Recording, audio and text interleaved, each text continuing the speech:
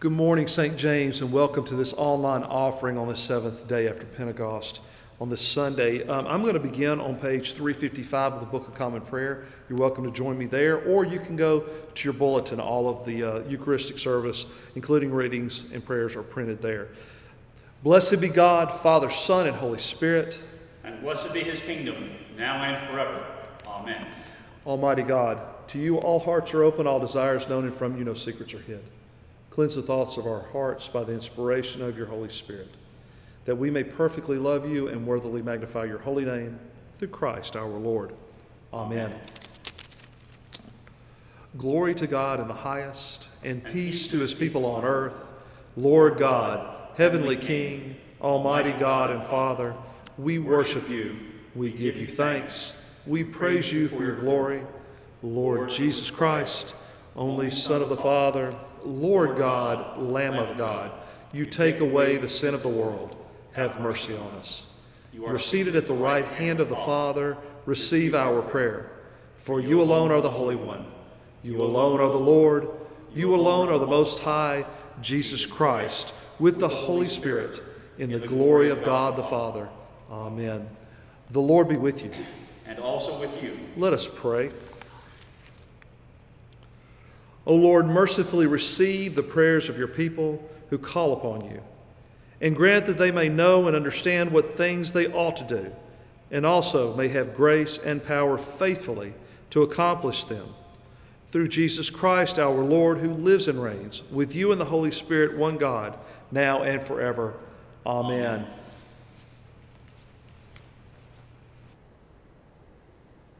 Good morning, St. James and visitors. This is a reading from the second Samuel. David again gathered all the chosen men of Israel, 30,000. David and all the people with him set out and went from Baal, Judah, to bring up from there the ark of God, which is called by the name of the Lord of hosts, who is enthroned on the cherubim. They carried the ark of God on a new cart and brought it out of the house of Abinadab, which was on the hill. Uzzah and Ahio, the sons of Abinadab, were driving the new cart with the ark of God, and Ahio went in front of the ark. David and all the house of Israel were dancing before the Lord with all their might, with songs and lyres and harps and tambourines and castanets and cymbals. So David went and brought up the ark from God from the house of Abinadab to the city of David with rejoicing. And when those who were bore the ark of the Lord had gone six paces, he sacrificed an ox and a fatling. David danced before the Lord, and all the house of Israel brought up the ark of the Lord with shouting and with the sound of the trumpet. As the ark of the Lord came into the city of David, Michal, daughter of Saul, looked out the window and saw King David leaping and dancing before the Lord, and she despised him within her heart. They brought in the ark of the Lord and set it in its place, inside the tent that David had pitched for it. And David offered burnt offerings and offerings of well being being before the Lord. When David had finished offering the burnt offerings and the offerings of well being, he blessed the people in the name of the Lord of hosts and distributed food among all the people, the whole multitude of Israel, both men and women, to each a cake of bread, a portion of meat, and a cake of raisins. Then all the people went back to their houses. So here ends the reading. Please join me now in saying aloud Psalm 24 as printed in the online bulletin or found on page 613 in your Book of Common Prayer. The earth is the Lord's and all that is in it, the world and all who dwell therein. For it is he who founded upon the seas and made it firm upon the rivers of the deep. Who can ascend the hill of the Lord? Who can stand in his holy place? Those who have clean hands and a pure heart, who have not pledged themselves to falsehood or sworn by it what is fraud. They shall receive a blessing from the Lord and a just reward from the God of their salvation. Such is the generation of those who seek him. For those who seek your face, O God of Jacob, lift up your heads, O gates. Lift them high, O everlasting doors, and the King of glory shall come in. Who is this King of glory? The Lord, strong and mighty, the Lord, mighty in battle. Lift up your heads, O gates, lift them high, O everlasting doors, and the King of glory shall come in. Who is he, this King of glory? The Lord of hosts. He is the King of glory. This is a reading from the letter of Paul to the Ephesians. Blessed be the God and Father of our Lord Jesus Christ, who has blessed us in Christ with every spiritual blessing in the heavenly places. Just as he chose us in Christ before the foundation of the world to be holy and blameless, blameless before him in love. He destined us for adoption as children through Jesus Christ, according to the good pleasure of his will to the praise of his glorious grace that he freely bestowed on us in the beloved.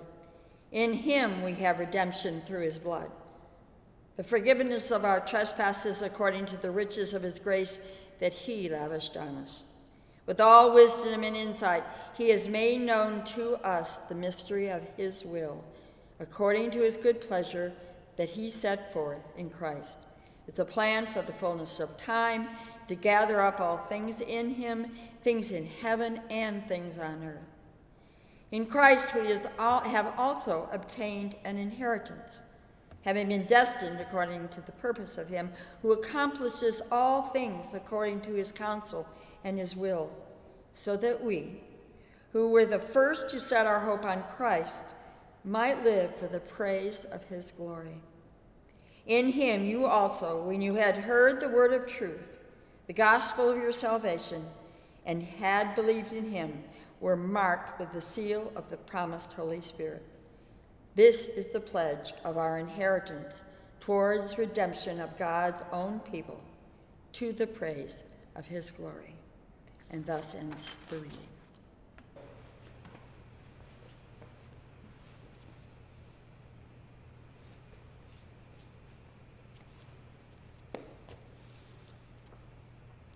The Holy Gospel of our Lord Jesus Christ, according to Mark.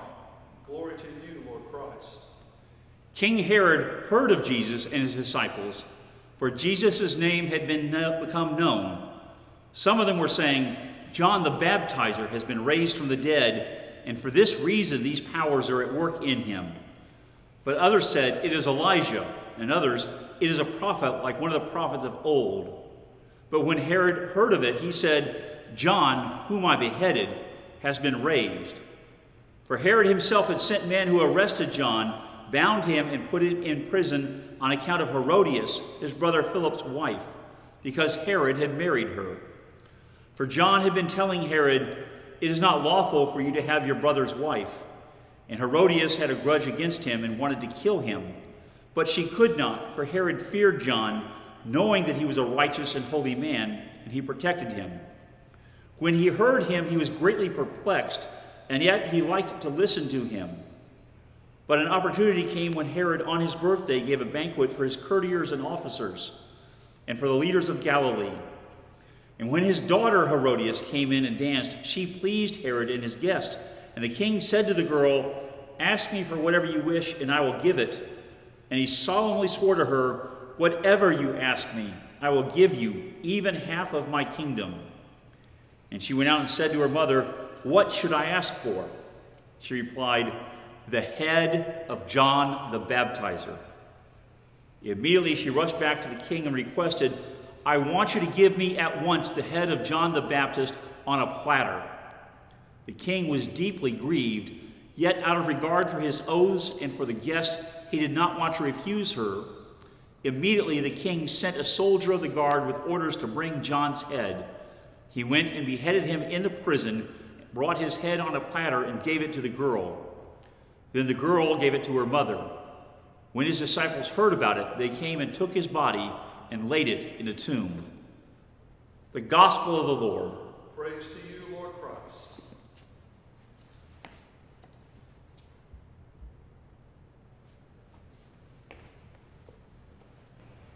I speak to you in the name of the Father, the Son, and the Holy Spirit.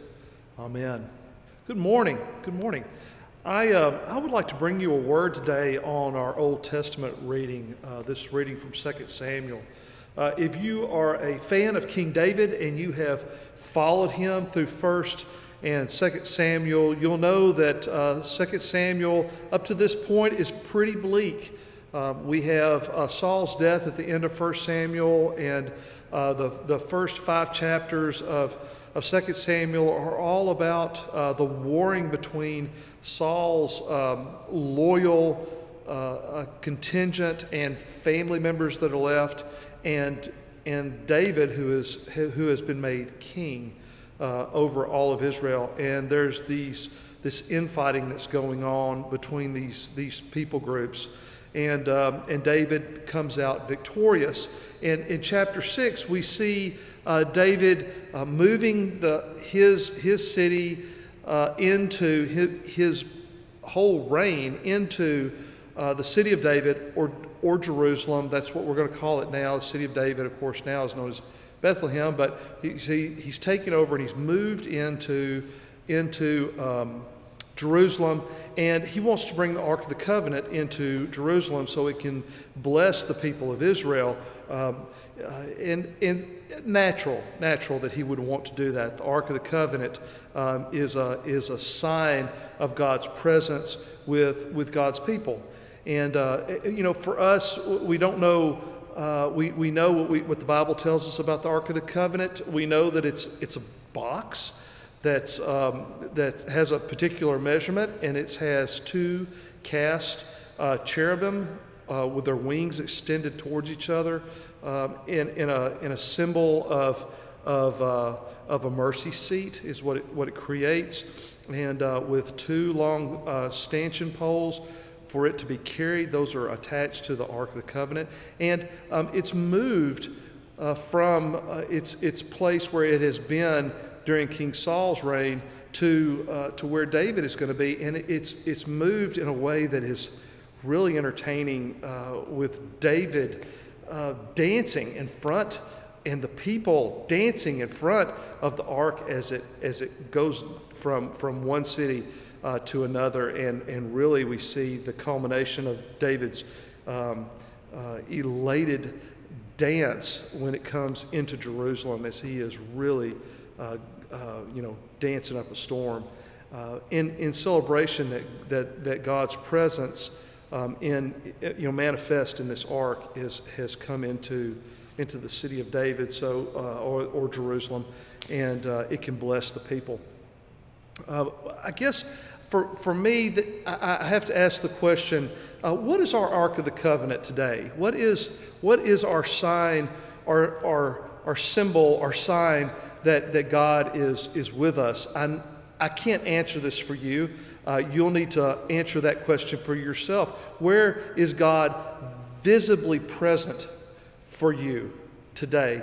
Um, for me, I, I, work in a beautiful church. I have been blessed to work in beautiful churches um, all over uh, in Tennessee and in, and in Texas. And I can tell you uh, that, it ha- that God has, has, has uh, uh, been visible to me uh, probably most apparently um, in the altar and, and the tabernacle that resides where, where, where the uh, body and blood resides behind jesus uh, resides behind the altar. Those are for me have been ever since i came into the church uh, the, the most visible sign of god's presence with us our, our tabernacle uh, is, is a callback all the way back to the Israelites uh, uh, being led through the desert and uh, Moses being instructed to set up a tabernacle in the form of a tent uh, so the people could worship God and God could reside there. And, and for me, that, that tabernacle is where God, uh, God's presence is, um, is, is made relevant and apparent to me. I, you'll have to answer that question for yourself, but I think it's a question worth asking. Where is God present for, for you today? Um, is it in our beautiful church space? If you're a member of St. James, you've been here, uh, you've seen throughout our online services, uh, Sam has given us these beautiful shots of all these windows. Stained, you've seen every stained glass window uh, in here. Uh, is it in the stained glass? Is it in, um, is it in uh, the, the, the pomp and the pageantry that is our service? Um, is it uh, in uh, the word uh, proclaimed from either the lectern or the pulpit? Uh, where, where is it? Where, where is God's? Or is it even in the church building itself? Is it, is it out in, in, uh, in nature in the form of you know, a mountain or, or a, a beam of light? You know, I, I can't answer that for you. I, all I can say is it's, it's worth exploring. And once we find um, God uh, present with us, um, boy, if we could capture even a portion of the joy and, um, and, and, uh, and celebration that David shows us in this passage today, wouldn't that be wonderful? I know that I am moved sometimes to tears when I hear our choir uh, do a, uh, a moving rendition of, of, a, uh, of a hymn or, a, or a, uh, anything uh, that, that, that is done with such excellence. Um, I, I am moved sometimes to tears uh, through a baptism or through uh, a, a, burial rite, uh, a, a, wedding, or even through our Eucharistic service. There's just so many times where um, I can feel God kind of brush up against against me, and and I know that God is is present. We need that today in this in this uh, kind of count, uh, cancel culture environment. I think we need to know that we can't cancel God. God will not allow us to take him out of the equation. God is God and our creator, our sustainer, our redeemer, and we're not. And so, no matter what is said, what is done, what is offered in the form of a retort or trying to cancel out uh, your faith, know that God is not moved by that. God is not moved, not a single inch, and that God's um, presence is made manifest um, in so many ways to so many people, uh, whether it be prayer, reading the Bible, Scripture, whether hearing music um, uh, that, that is inspiring you to think about God, whatever that is.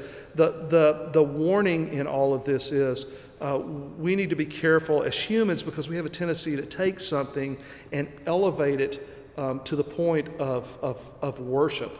And so we can't take, for example, we can't take the Bible and elevate it to the point of worship because what it's meant to do is point through itself to God. And so everything that, that, is, um, that is in our worship space, including this beautiful cross that's up above uh, the altar, the tabernacle, the altar rail, these beautiful uh, new kneelers that we have that you can see behind me, uh, all these are not meant to be worshiped. They're meant to elevate our worship, to elevate us, to, to make us um, uh, look through them towards God so we can see God through these things. Where does God reside? Well, God resides uh, in all of God's creation, including God's greatest creation, uh, humankind. And you, you can't take God out of that. As much as you want to, you can't take God out of that. And to be able to recognize that and acknowledge that, I think is so vastly important for us that we look towards um, towards God as, as uh, Redeemer, as, as Savior, as, um, as Reconciler, uh, all of these, these things uh, wrapped up in the, in the Trinity, um, that we, we should, like David, gird our loins and be dancing um, for that. I'm not going to dance for you today. You're welcome. but, but I will say um, it, it's, it's worth exploring. Uh, in your, in, in your uh, faith journey, uh, where, where is God made manifest to you? Um, I hope and I pray that uh, this space that we have, this beautiful tool that we use to come and worship, is, is one of those places where you, where you feel God manifest. Uh, not that God, like the Holy of Holies, resides here. Um, uh, I wouldn't say that God doesn't reside here. I'm just saying that when the place is empty and the lights are turned off, it doesn't feel like God resides here until the people come in and the people come back and the people uh, join in fellowship. Then God um, seems manifest here. And all of these signs and symbols that are all around us the candles, the altar, the windows, uh, the, the, even the pews, the, the pipe organ, the music, uh, the liturgy of, of the word, and the liturgy of the sacrament all are meant to be iconic and push us towards. Even the cross is meant to be iconic and push us towards, our eyes towards, uh, beyond itself and towards, uh, and through it towards God, magnifying God's uh, love. And David knew this. He knew that the Ark of the Covenant was that type of instrument to bring people into a place where they knew God was there to bless them. God is here to bless you. God wants to bless you. Um, uh, so I, I ask this question. I'm going to leave it hanging with you today, guys.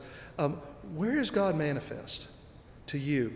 Email me. Let me know. My, my, uh, my email address is on the back of the bulletin. Email me and uh, give me a response. Where is God manifest for you?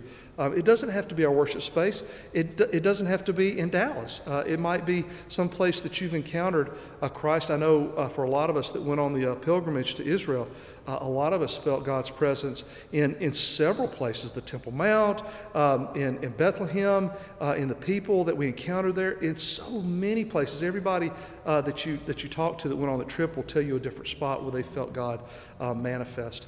And so, um, f- for you, I, will leave you with that question where do you feel God manifest? And I hope that once you identify that, that you'll find the joy that David found um, and, and will uh, dance in your spirit, will dance uh, like David, giving it his all in, uh, for the glory of God. Um, it, it's all uh, to magnify the majesty and the, the, the, uh, the love of God in our lives.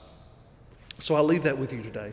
Um, read 2 Samuel. It's a great read. First five chapters, really, um, really uh, intriguing, good to get through, hard names to get, but they're fine. It's good. You'll learn a lot about, uh, about Saul's family. You'll learn a lot about the dynamic, the, the family dynamic there. You'll learn a lot about David's family and the dynamic there. And when you get to six, you really see King David really uh, take off on his own. So it's worth the read, Second Samuel. I'll give it to you. And look for God. Find out where God is manifest for you this week. Amen. I speak to you in the name of the Father, the Son, and the Holy Spirit. Amen.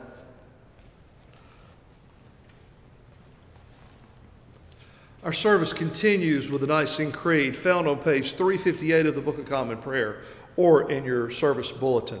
Let us confess our faith in the words of the Nicene Creed. We believe in one God, the Father, the Almighty, maker of heaven and earth, of all that is seen and unseen. We believe in one Lord, Jesus Christ, the only Son of God, eternally begotten of the Father, God from God, light from light, true God from true God, begotten, not made, of one being with the Father. Through him all things were made. For us and for our salvation, he came down from heaven. By the power of the Holy Spirit, he became incarnate from the Virgin Mary and was made man. For our sake he was crucified under Pontius Pilate. He suffered death and was buried. On the third day he rose again in accordance with the Scriptures. He ascended into heaven and is seated at the right hand of the Father. He will come again to glory to judge the living and the dead, and his kingdom will have no end. We believe in the Holy Spirit, the Lord, the giver of life, who proceeds from the Father and the Son with the Father and the Son, he is worshiped and glorified. He has spoken through the prophets. We believe in one holy Catholic and Apostolic Church. We acknowledge one baptism for the forgiveness of sins. We look for the resurrection of the dead and the life of the world to come. Amen.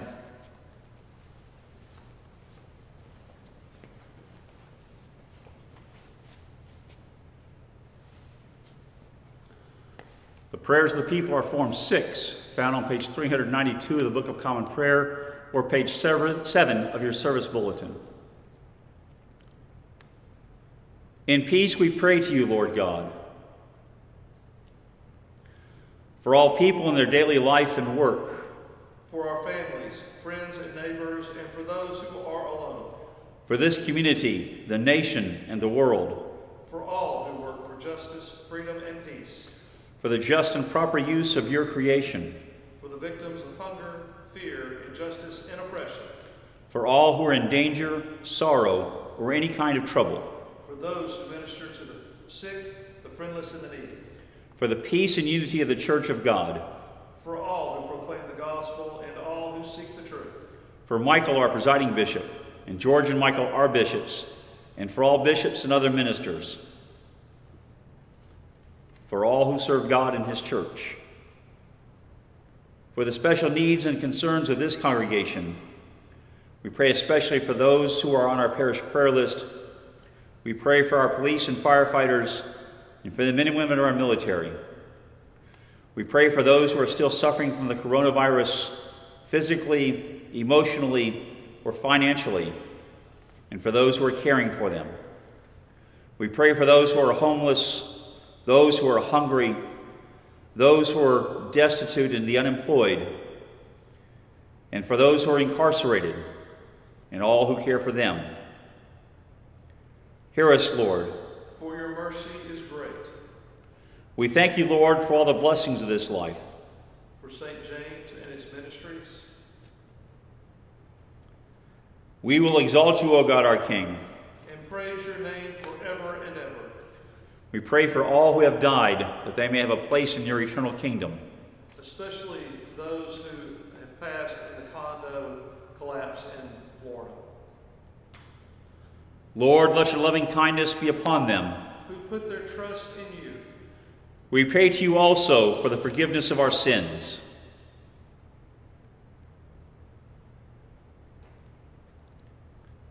Have mercy upon us, most merciful Father. In your compassion, forgive us our sins, known and unknown, things done and left undone, and so uphold us by your Spirit, that we may live and serve you in newness of life, to the honor and glory of your name, through Jesus Christ our Lord. Amen. Almighty God, have mercy on you, forgive you all your sins through our Lord Jesus Christ, strengthen you in all goodness, and by the power of the Holy Spirit, keep you in everlasting life. Amen.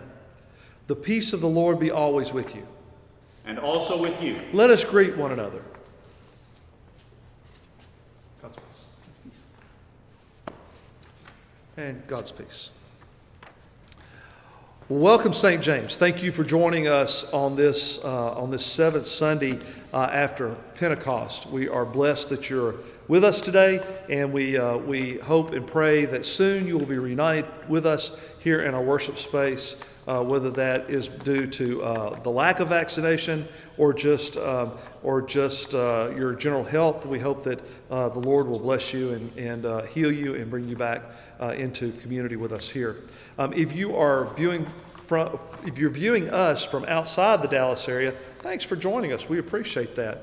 Uh, we are always blessed to have uh, folks join in, and uh, please let us know when you uh, when you're on our Facebook page that you're uh, that you're watching. We always appreciate that. And uh, even though uh, Deacon Phil and I are um, are actually participating in a service while you're watching this one, um, I always go back later and and just see what the comments are. So um, I, I'll see that and respond to you at some point, and, and so appreciate you being there and being there in in in uh, cyber world and, and viewing us. We appreciate that. Uh, we have a few announcements. They're all in your bulletin. Um, I just want you to know that we are we are actively involved in Christian education. Um, uh, we I have a class that meets between the 8 a.m. and the 10 a.m. services uh, in the uh, parish hall. I do uh, stream. I do Zoom that. So if you are interested in that information, email me at father.hurst at uh, stjamesdallas.org and let me know that you want to join in, and I'll send you that, that link so you can join in on our Facebook, um, our, I'm sorry, our Zoom meeting for uh, that, that lesson. And I'll also send the lesson to you. So uh, get in touch with me. Love to have you join us. Uh, we have a, a, really good group and have lively conversation every week. Deacon Phil is uh, going through the book of Mark. Uh, he meets on Thursday mornings at 10 o'clock. He would love for you to join him as well. So please reach out to us, either one. Um, our, all of our contact information is on the back of the bulletin, which is, uh, which is right down uh, below this. If you just scroll down, you'll find that there. You can just uh, find our email addresses and our phone numbers. Reach out to us. We'd love to hear from you. Um, if you are a uh, if you are a person who wants to support uh, the ministries of St. James, we are we, we don't we make no money off of this. We, we, we don't have any opportunity to make money other than the generosity of our parishioners. And we, we hope that uh, if you're enjoying this and have enjoyed it for a number of months that we've been doing it that you will uh, that you'll be a sustainer in some way. Maybe a one-time gift. It doesn't have to be a huge gift it can be uh, anything. Anything is a blessing to us. And, the, and just like the loaves and the fishes, the Lord will bless it and, and multiply it. And we're so just so grateful for you. If you want to be a one time giver or, a, or a, a sustainer of our ministries, uh, Sam is going to put up uh, a QR code over here, and she's going to put up a URL or a web address over here. You can do either one. You can scan the QR code, or you can go to this URL, and it'll take you to a website where um, you can give one time, or you can be a, a sustainer, monthly sustainer. Either way, we would be grateful and blessed uh, by your gift, and we're so appreciative of that. Know that that's not uh, necessity to watch this program. We, we welcome you every week. If you can't uh, or don't have an opportunity uh, to give a dime towards our ministries, we're still blessed to have you, and we hope that we're a blessing to you as well. Listen, if you are celebrating a birthday, I would love to say a birthday prayer with you or for you. Um, I'm going to turn uh, in our bulletin this time uh, to the bottom of page 8. So, right at the very bottom of page 8 starts our prayer and it goes up to, to page 9. Would you please join me in saying a prayer for uh, our birthday folks? And if you are celebrating a birthday, happy birthday. Let us pray. Watch over thy children, O Lord, as their days increase. Bless and guide them wherever they may be. Strengthen them when they stand. Comfort them when discouraged or sorrowful. Raise them up if they fall. And in their hearts, may thy peace which passeth understanding abide all the days of their lives through Jesus Christ our Lord. Amen. And the blessing of God Almighty, the Father, the Son, and the Holy Spirit be with you now and remain with you always. Amen. Happy birthday. If you are uh, celebrating an anniversary, I'd also like to say a prayer for you. Uh, if you're able and can stand and join uh, right hands, that would be optimum. And let me say a prayer. Gracious and Heavenly Father, we are thankful for the Institute of Marriage in it you show us Christ's marriage to the church. And through it, we're able to grow not only closer to each other, but closer to you. Lord, I ask your blessings upon these, your uh, couples who are celebrating their anniversary. Uh, continue to rain your grace and mercy upon them and uh, allow them to, uh, to experience many more blessed anniversaries uh, within the bonds of your grace and their love. And this we ask through Christ our Lord. Amen. And the blessing of God Almighty, the Father, the Son, and the Holy Spirit be with you both now and forevermore. Amen. Happy anniversary. Listen, we got lots more. Uh, we're about to celebrate the Eucharist, so if you have a, a host, a consecrated host, Get that ready. If you don't, don't worry. We're going to bring back Father DJ from, from Florida, and he's going to say that prayer for the spiritual communion uh, with us. We're so grateful for Sam and DJ for their ministry while they were here, and Sam and DJ's continued ministry, even from, uh, from Florida. They're able to continue to, uh, to, to support the ministries of St. James by doing all the video production and, and editing uh, for us, and we're so blessed to have them here, and uh, I know that uh, the folks in Florida are blessed to have them there now. So, uh, walk in love as Christ loved us and gave himself for us, an offering and a sacrifice to God.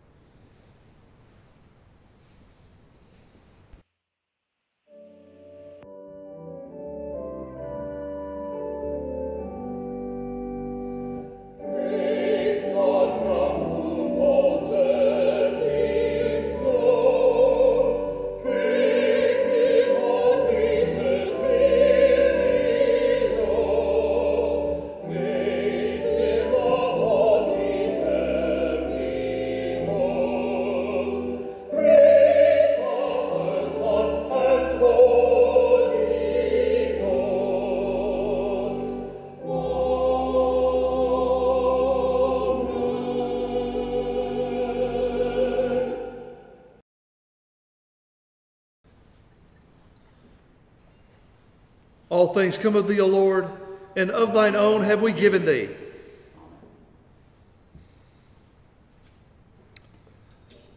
The Lord be with you. And also with you. Lift up your hearts. We lift them to the Lord. Let us give thanks to the Lord our God. It is right to give him thanks and praise. It is right and a good and joyful thing always and everywhere to give thanks to you, Father Almighty, creator of heaven and earth, through Jesus Christ our Lord, who on the first day of the week overcame death in the grave, and by his glorious resurrection opened to us the way of everlasting life.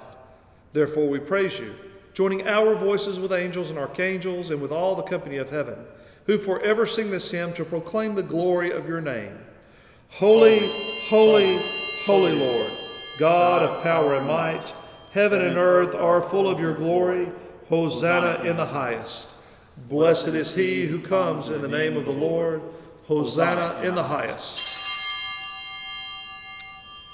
We give thanks to you, O God, for the goodness and love which you have made known to us in creation, in the calling of Israel to be your people, in your word spoken through the prophets, and above all in the word made flesh, Jesus your Son.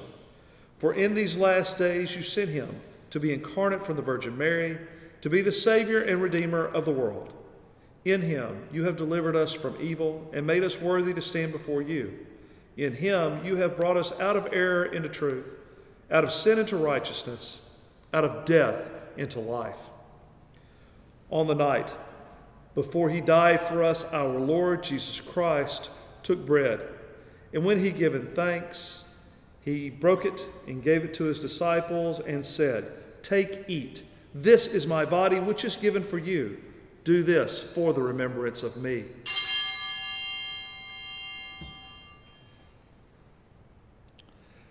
After supper, he took the cup of wine. And when he had given thanks, he gave it to them and said, Drink this, all of you. This is my blood of the new covenant, which is shed for you and for many for the forgiveness of sins. Whenever you drink it, do this for the remembrance of me.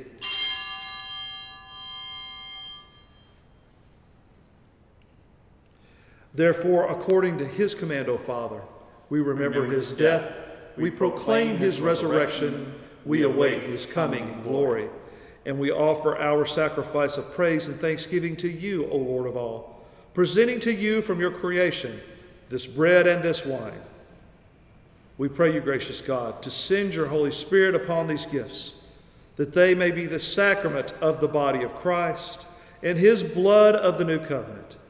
Unite us to your Son in his sacrifice, that we may be acceptable through him, being sanctified by the Holy Spirit.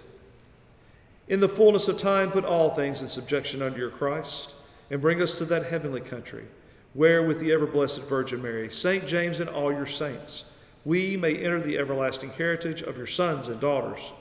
Through Jesus Christ our Lord, the firstborn of all creation, the head of the church, and the author of our salvation.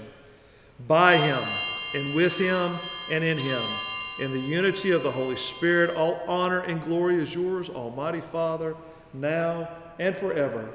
Amen. Amen.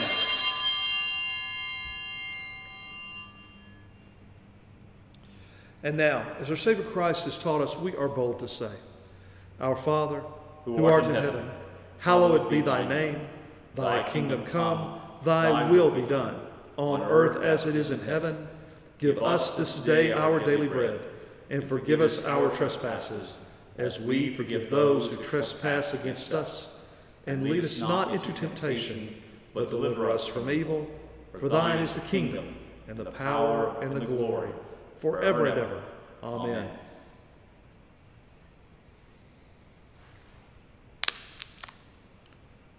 Alleluia. Christ our Passover is sacrificed for us. Therefore, let us keep the feast. Alleluia.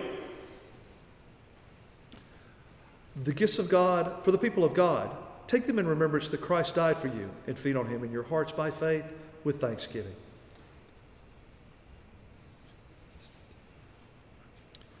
The body and blood of our Lord Jesus Christ keep us all in everlasting life. Let us pray together a prayer for spiritual communion. In union, blessed Jesus, with the faithful gathered at every altar of your church, where your blessed body and blood are given this day. I long to offer you praise and thanksgiving. I believe that you are truly present in the Holy Sacrament, and since I cannot at this time receive communion, I pray you to come into my heart. I unite myself with you and embrace you with all my heart, my soul, and my mind. Let nothing separate me from you. Let me serve you in this life until by your grace I come to your glorious kingdom and unending peace. Amen.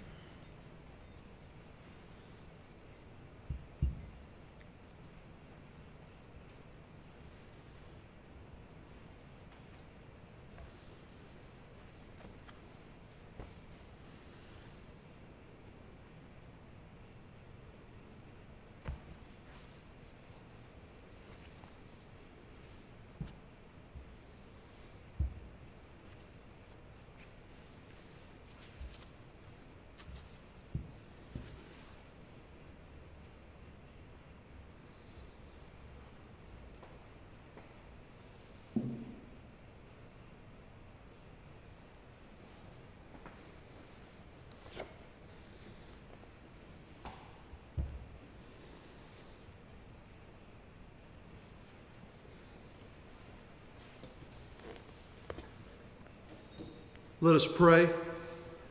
Eternal God, Heavenly Father, you have graciously accepted us as living members of your Son, our Savior, Jesus Christ, and you have fed us with spiritual food in the sacrament of his body and blood.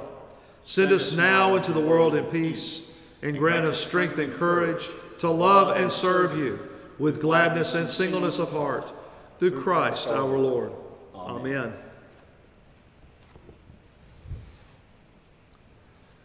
The peace of God, which passes all understanding, keep your hearts and minds in the knowledge and love of God and of his Son, Jesus Christ, our Lord. And the blessing of God Almighty, the Father, the Son, and the Holy Spirit be with you and remain with you always. Amen. Amen.